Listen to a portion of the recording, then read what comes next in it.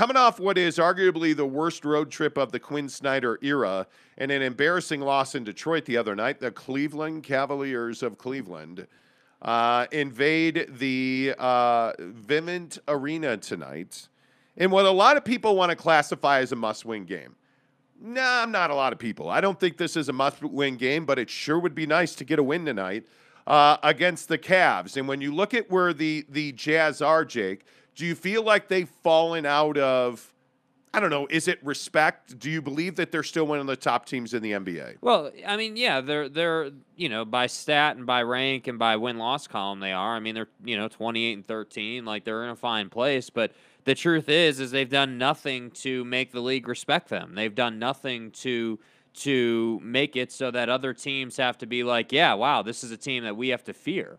I mean, there's no question about how to beat the Jazz anymore, and and that's the issue. And and so you know, if you look, if you're looking just at the Western Conference win loss column, you've got the Suns at 31 and nine, the Warriors at 30 and 10, then you've got the Jazz at 28 and 13, and the Grizzlies at 29 and 14, and then you've got this huge fall off to the Mavericks at 22 wins. So yeah, I mean the Jazz by win loss record are still one of the best teams in the league, but the when we're talking about the grouping of those four teams in the West, the other three teams have no reason to fear the Jazz. You know, I mean, again, and and people were not amused. You said this earlier in the week, but I think it's so true. You know, that series that the Jazz had against the Grizzlies last year probably goes a different way this year. You wait, know? wait, wait, wait. Stop right there. Yeah. Put some respect on that Ja Morant name. Yeah, dude. Buddy is um Come on. Yeah, dude. Come on. Tell me how great I am. Yeah, you're great. Tell me how Uh, smart I am. You're great. tell, me, tell me how good looking I am. Yeah, you're just the sex Tell me goddess how of good everything. looking good good looking I am. Anyway, how about the Memphis Grizzlies? Yeah. They did your boy Steph dirty last night. Yeah, they did. I'm telling you, that team is for real. Desmond and I, Bane. I feel like I, I have I have been the lonely man on the train all season long on the Memphis Grizzlies on this show. Uh-huh. And I think last night they continue to back that up. Like, and this to the the point about the Jazz is, Yeah. I don't believe they're a top five team in the Western Conference right now. Well, again, so if I mean, so looking at the other teams in the league that you know could potentially be a, a top five team, you know, um, you know, you've got again the Nuggets are twenty and nineteen. The Nuggets are eight wins behind the Jazz. You've got the Lakers at twenty one and twenty, right? Seven, you know, seven wins behind the Jazz. You know, you got the Clippers at a five hundred team right now. You know, twenty one and twenty one. Like you, you these teams you know, are just not performing. They're not they're not doing what the Jazz have done, but it's like this weird dynamic with the Jazz. Hey, you know, you're a 28 win team right now, which is good for third in the West.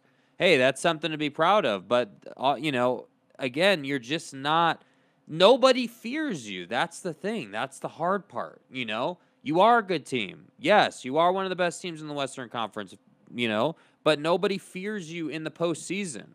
Ja Morant's not scared. You know, Steph is not worried. You know, Devin Booker is not worried.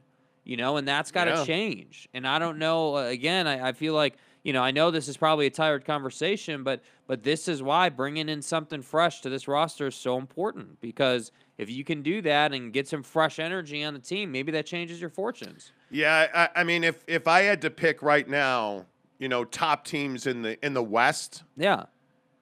Um, I mean, certainly Golden State. I think certainly Phoenix, even though Devin Booker's busy fighting with mascots in Toronto last night. Like, look, Book, Book's my dude, but that was weak shit. Like, Yeah. I can't, I do not know what he was looking at right there.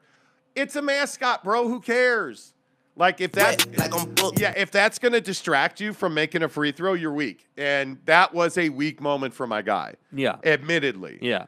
But I think Golden State and the Suns are by far the two best teams in the NBA and in the Western Conference. Yeah. Um, and I think there's a lot of parity after that. I actually would put Memphis third right now. If we're if we're really looking at the hierarchy and the, the best of the best in the Western Conference, Yeah. as we stand today on January 12th, I can't put the Clippers there. In May, are we going to put the Clippers there? Yeah, we probably are. Yeah, I mean, if you look at the last 10 games for these teams, right? I mean, obviously the Grizzlies are hot. They've won their last 10. They're 10 and 0 in their last 10. Great. But you've got, and this is what I think is really interesting the consistency of the other three teams at the top of the West. The Suns are six and four in their last ten. The Warriors are six and four in their last ten. The Jazz are six and four in their last ten. But the difference is, is the Jazz have lost their last three. Right? The Warriors obviously just lost to Memphis. So I don't know. These teams, like the NBA season, is a marathon. You know, it's going to have ebbs, it's going to have flows, ups and downs. But it just feels like you know the Jazz are in this odd position because of how many guys are in protocol. And because when Rudy's not on the floor, there's a lot of exposure to how weak the perimeter defense That's is. That's right. And it and it ha- it brings, you know, there's this middle ground we have to find. Like I feel like after the Pistons lost the way they lost that game, there was a lot of, hey, this team is Rudy and everybody else. The defense sucks. Don wasn't good enough. Like I feel like the fan base was very negative. And it is warranted. A lot of that stuff is warranted, but then you know, what are we going to say next week when they, you know, tear off five in a row? You know, and that's the tough part about this team. They're going to bounce back. You know they are. But that bounce back when you get into the postseason just isn't enough. And that's the problem. Do you trust the Utah Jazz? No. Right now, I don't. And I just go back to what we talked about yesterday on the show as far as Rudy and hey, it's cool that Rudy's your MVP. And if in fact that it, it is the case that Rudy's your most valuable player on this team, right now, the way they're built, I think it's hard to argue that. Mm-hmm. But if that is indeed the, the situation, you're not a title contender. Because again, I don't think Rudy Gobert can be the, the best player on your team or the most important player, the MVP of your team, Mhm. and you win a championship because he's just not dynamic. He is not a guy that, you know, outside of his defense, and, and really, let's be honest, outside of rim and paint protection, Rudy Gobert is a very limited contributor. And you know, you, you look at the high pick and roll, that that's not going to work in the postseason. We've proven that. We've seen that. This is not one of the elite teams. And again, if I look up and down the standings right now, just in the West, I think you have three teams that are better uh, than the Utah Jazz in the East. I'm certainly taking the Chicago Bulls the way they're playing right now. Um, DeMar DeRozan's playing out of his mind. Yeah. I, you want to talk about MVPs? I mean, DeMar DeRozan is now finally getting MVP consideration Yeah. right? So I think they're playing very well. Um, I look at the way that the Miami Heat are playing, whether Jimmy's on the floor or not. Mm-hmm. That's a very difficult team to to to account for. Are they better than the Utah Jazz? Mm, I'm not ready to say they're Probably better. I think they're even. Probably, right? Even or a touch below. But who who's the elephant in the room in the East? Well, it's the Milwaukee Bucks. Are the Milwaukee Bucks better than the Utah Jazz? Yeah. I would think so at this point. I mean, the way that Giannis is shooting the ball, it's no longer, hey, he's he's hot. Giannis Antetokounmpo has turned himself into a pretty good shooter. Yeah. Um, they're a force to be reckoned with. So that's five right there. And oh, by the way, don't forget about the Brooklyn Nets. I don't know what the the Nets are with Harden out with this knee injury now. Um, Kyrie complaining about Nassir Little trying to break his ankle. Like, I don't know what the Brooklyn Nets are. And honestly, if that game's in Salt Lake City, I don't know that the Brooklyn Nets come in here and win. Yeah, well, I think the thing for the Nets in that situation is the problem is that they're not a great defensive team, and the Jazz are the number one offensive team in the league at 115 points a game. So that's not a recipe for success if you're the Nets. So, Yeah. but I think that you know on the other side of that, the talent, and this is this is the game the Nets play, and this is what you know the bet that they made essentially, which is we're not going to be an elite defensive team, but we're going to put up 130 points a night on you, you know, and and when they're at full strength, they do that. So I I think that'd be a fascinating series. I'd have to lean to the, the Jazz in that. I mean, I'd have to know who's healthy. Yeah. I mean, if Kyrie Kyrie would play in that game, obviously, hmm I'd probably it's pretty even. I'd probably lean to the Jazz. Yeah. But Anyway, all, all of that to say, I, I don't think the Jazz are top five. They're are they top ten? Certainly. Um, but I look at the way excuse me. Why am I getting COVID Bro, are tested? you okay? It, it drives me crazy. This little cough drives me crazy. Yeah. It's Yeah, not dude, it's, it's not some major thing. It's just this little cough that sneaks out. up on you. It's hanging around. Um, but if you look at the Philadelphia 76ers right now, that, that's why I say this Cavalier game tonight's not a must win. This is a game you need to win, though. Yeah. The, it, you're, you're playing against a team that is elite defensively in the Cleveland Cavaliers. They are very good defensively. Mhm. I think they give up around 102 point something points a game. Yeah. You score 115. Well, and they're only five wins behind you. They're it's not like they're a 10 win team. They're, they got 23 wins. But how do they generally, if you look at the Cleveland Cavaliers, and this is why this game will be interesting tonight. This is a game that, in my mind, the Jazz should win by double digits. Yeah. This should be a 10 point win. Yeah. Only it's not a 10 point win the, because of the way the Jazz play, the way that they're built, and now with Rudy, you know, you know, in and out of the lineup. Yep. You see what they're not defensively without Rudy Gobert, and I look at guys like Garland, Mo- what Evan Mobley is giving them. Yeah. Well, and he's he's the classic issue for the Jazz, right? I mean, Evan Mobley is what is he six nine or something like that? He's got tremendous length for his position, um, and he can do things, and he can cause Six, issues. excuse me, 6'11", 215 Six pounds. eleven. I mean, that's incredible length out of a three four hybrid player. He's not a five, but he's a three four hybrid. He's a three four because he's not a big physical player, but Yeah. he's in the right place at the right time. So but you- if, if you look at Markkanen, um, Mobley, and Garland, Mhm. those three will give the Jazz trouble. And then I don't know what you get from Jarrett Allen in this game, uh, because the other question is, where are we at on Hassan Whiteside now? Now that he's and you're seeing why he came at the price that he came at to the Jazz, Mhm. because I think now that you're you're looking at him being bumped up to your number one, Yeah. to your rim protector, Yeah. you're seeing why he isn't a number one center in the NBA because mentally he fatigues very quickly and he can be had physically. He's he goes off in the first half the other night and then you really don't see him the rest of the game. And in the fourth quarter, he got beat routinely at the rack.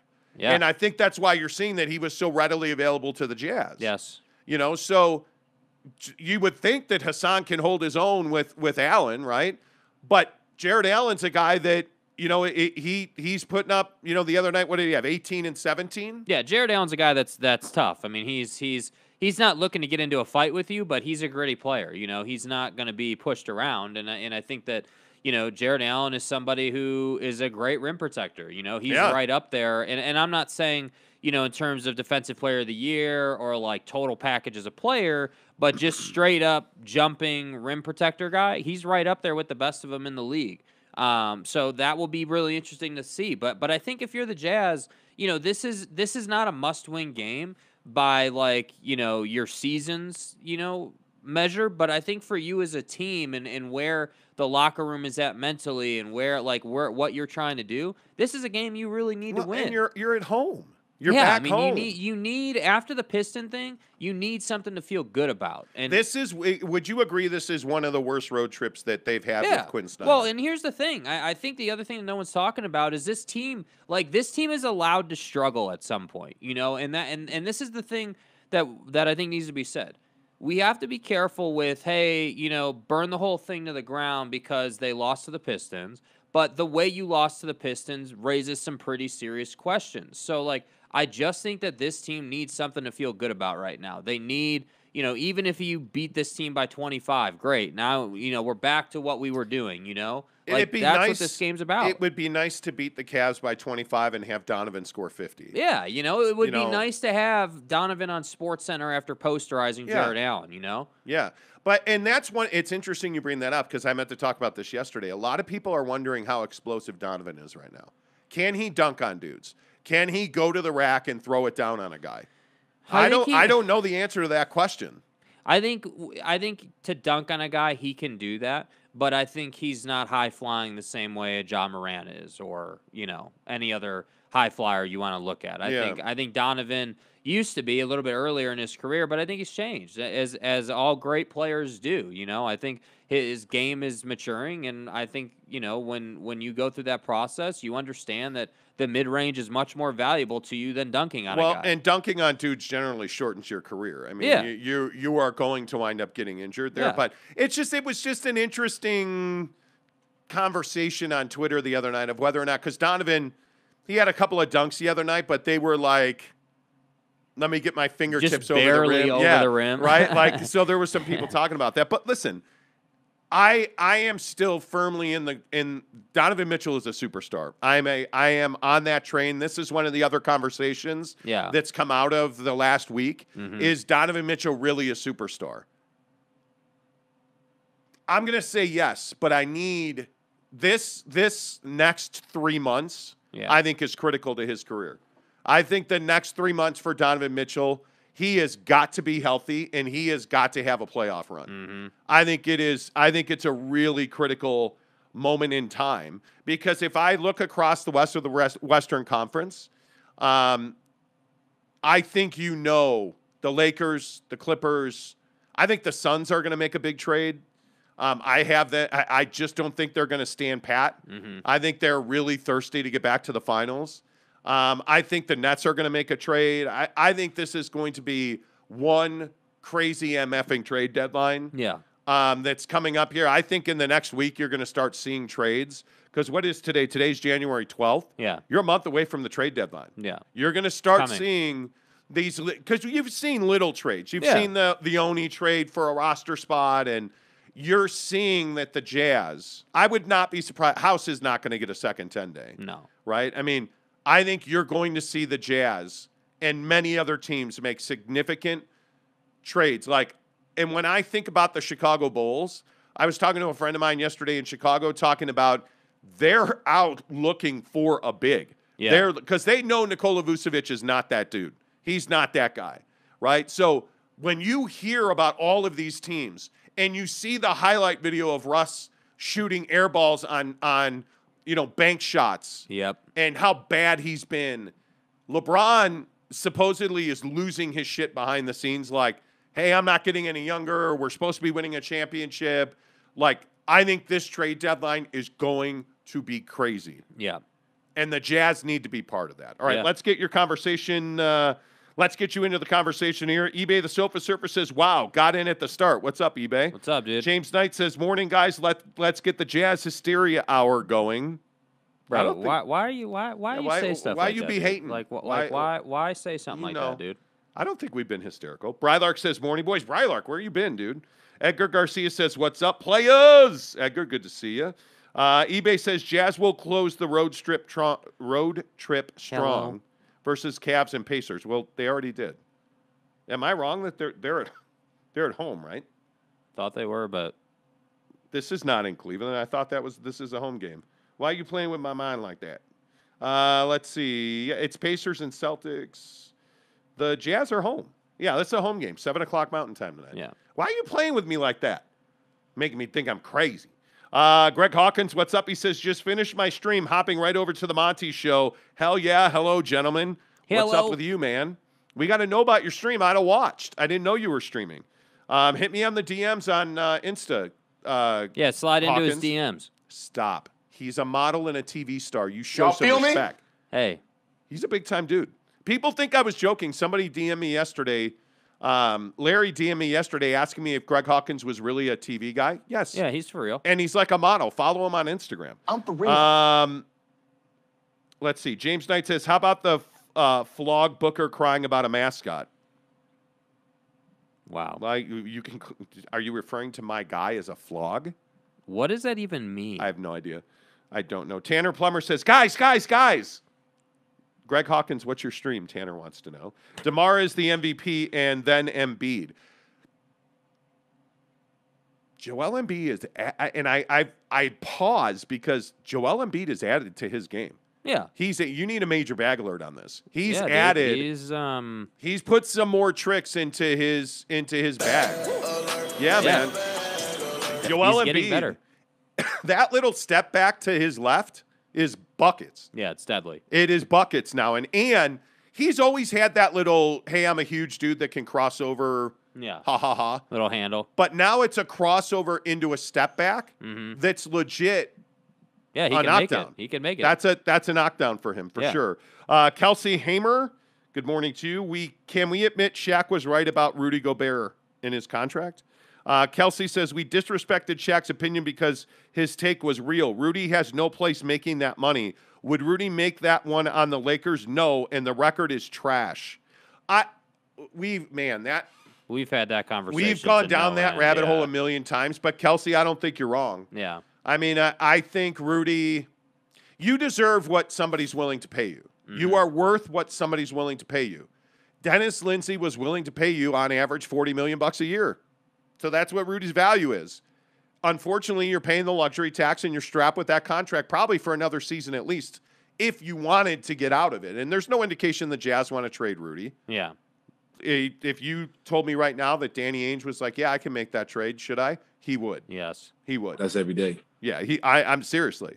Uh, eBay says Bucks are better. Giannis is just not fair for an opponent. He really is.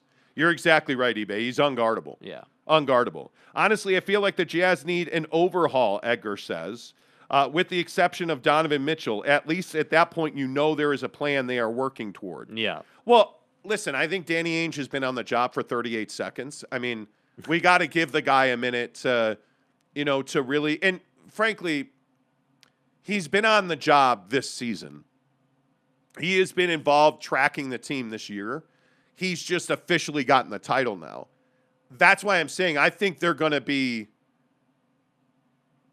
and I want to be careful about it. I people around the NBA believe that the Jazz are going to burn it to the ground people around the NBA believe that they're going to overhaul this roster, that there's either going to be a major deal at the deadline or they are going to to really fire sale in the summer. You have a deal. And I think, yeah, I think that you're going to be Rudy and, and Donovan for the foreseeable future. Well, I mean that's I mean that's just where you are. I mean I don't know what what other path you would take. You know. Yeah. Yeah. I mean, I just, I don't know what else you do because you're not, you're in that terrible no man's land of, of professional sports. Yep. You're not good enough to win a championship, but you're good enough to be mid table. Yep. That's a terrible place to be. And what that tells you is my old axiom of, you know, Dennis Lindsay had no idea who he was and where they were.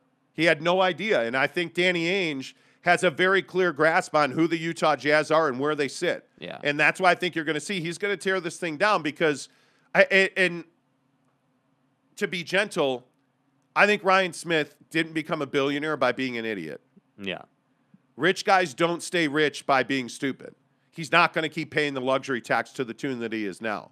I don't think he has any problem paying the tax, don't get me wrong. Yeah. But why would you if you don't have to? Yeah. You wouldn't. And why You would wouldn't. you if it's not bringing you championships? Agreed. So- hundred percent. You know, I, I, I don't know. Uh, what would be funny after all the dust settles in the trade deadline? Jazz get Westbrook, Ben Simmons, and Dennis Schroeder. That would be a nightmare. Yeah. I want nothing to do with this Schroeder Richardson deal that's being talked about with Boston. Um, I don't know how real that is. You know, people, NBA people that I talk to say Boston only signed Dennis Schroeder to trade him. Mm-hmm. That's probably true. But what do the Jazz want with Dennis Schroeder Yeah. I think uh, beyond an expiring contract? Yeah, I mean, sure, I guess that's a nice little pickup, but I don't think that that Schroeder and you know going and doing that deal really accomplishes, you know, what you're what you're looking for. So I I, I don't know. I, I I tend to agree. I don't think I would want any part of that. I don't really want any part of the Ben Simmons Tobias Harris sweepstakes. I, I that just doesn't seem. I yeah, I You I crunched a lot of numbers on Ben Simmons yesterday. There's no way the Jazz can afford him. And again, I don't think it's not even that he can't shoot. And I know we went into this in depth yesterday, but it's not even that Ben Simmons can't shoot. Yeah, He is mentally weak. He is broken offensively. I, I don't want to be the guy to prove that he can be reclamated. I don't I don't want that. Mhm. Let him go somewhere else and be a project. You know, like the the the the guard that had the weird shooting motion for Markelle Phil- Fultz. Yes, Markelle Fultz. I have no idea where he is. He's in Orlando. I if you say so. He is. You know what I mean? Like, He but, tore his ACL on a jump cut early in the year, and he's recovering. but you know what I mean? Like, Yeah. he's he's he's that you don't come back from that. Yeah. I I just I can't see him. I don't know. Yeah. I can't see him being. I can't see Ben Simmons being a productive offensive player in this league, other than attacking Rudy Gobert's chest, which he was very good at when he was actually, you know, playing. Yeah, and actually knew how to dunk a basketball. Yeah, come on.